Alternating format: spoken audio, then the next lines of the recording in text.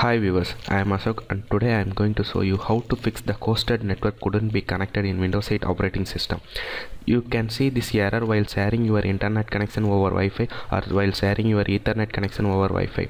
So how to fix this? Today I have a steps to how to fix this. Let's see how to do. First open command prompt with admin privileges.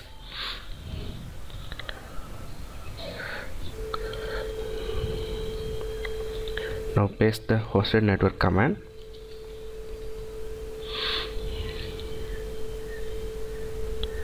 This command is used to host start hosted network.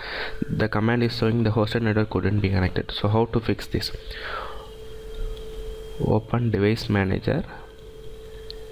View show hidden devices. Now navigate to network adapters and then to Microsoft hosted network virtual adapter. Right click on it click enable.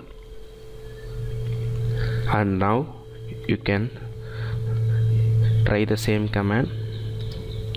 Now the hosted network was started. And that's all. Thanks for watching the video